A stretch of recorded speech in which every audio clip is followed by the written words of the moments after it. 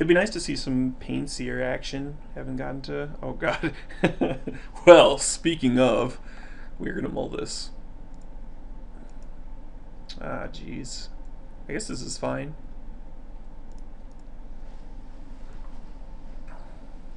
Not exciting. I'm like the Thoughtseize is awkwardly like really good against this hand. It's my 22 land deck.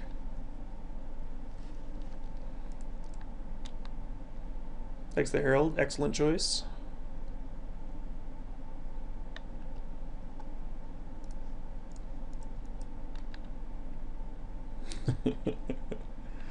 yeah. I'm just laughing because he just thought seized me and now his pack rat's dead.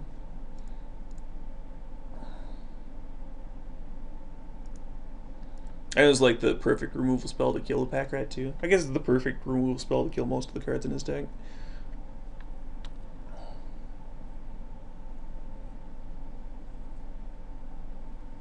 What's the best draw here? Well, it probably would have been that 2-2 that when it dies, you get more 2-2s. But I didn't drew, draw that, I drew a land. Yeah. So with no other threats, I'm just going to cast the Spiteful Returned. Is fine. Still gets him for damage.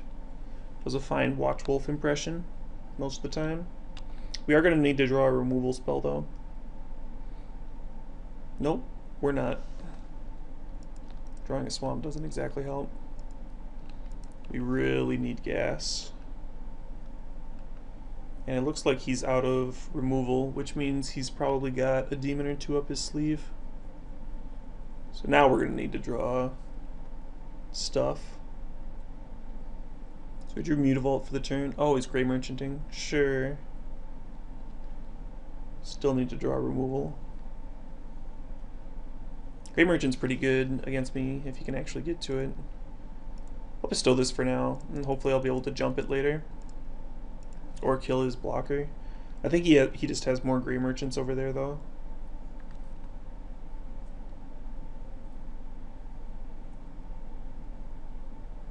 Really no reason for me not to bestow here, though. I guess I could draw a Thrill-Kill Assassin. That would be a better bestow target.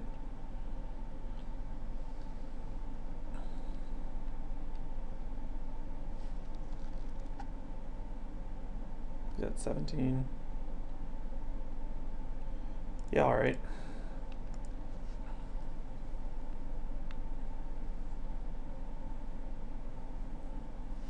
Cool.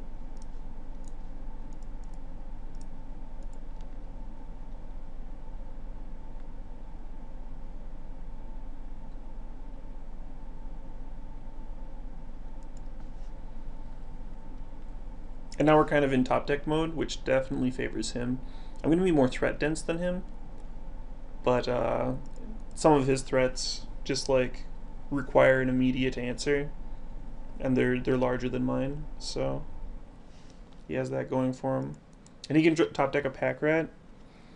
Uh, I saw Conley Woods testing a version of this deck, which is one reason I decided to try it out because he made it look really good that had pack rats in the board, and I could definitely see wanting that for the for the mono black matchup. They would really shine here. Oh my god. He still has some underworld connections in, which is fine. Like you probably want a few after we trade off all our removal spells and stuff. It's just gonna win him the game here, so. So I've got a lot of a lot of. In case you had not noticed, I have a few extra swamps than I actually need. I do think 22 lands is the correct number.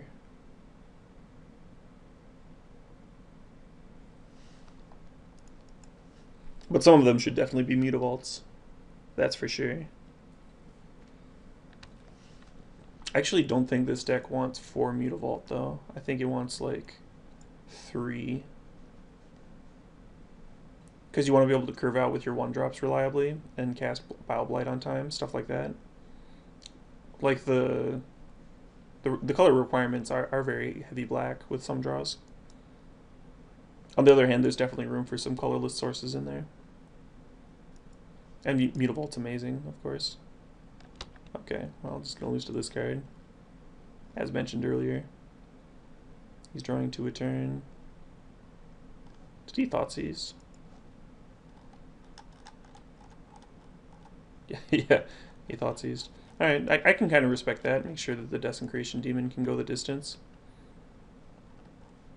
Because he hasn't played a threat in a while.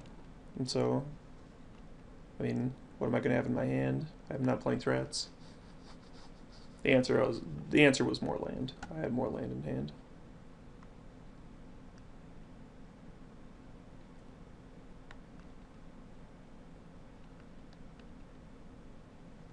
The thrills that kill.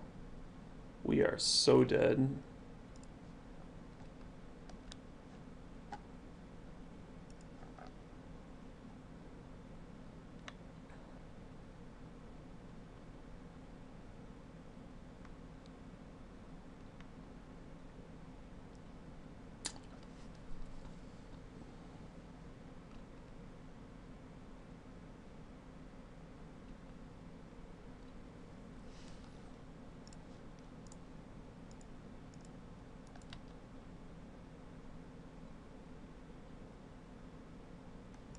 Dum da dum dum.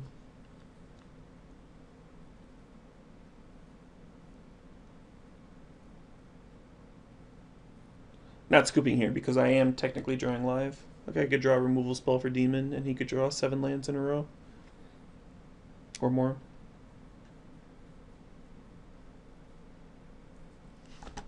Uh here I think I'm dead.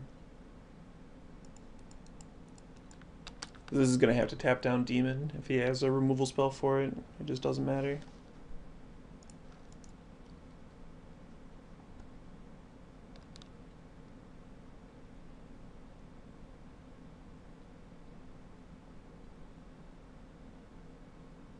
Your Thoughtseize resolves.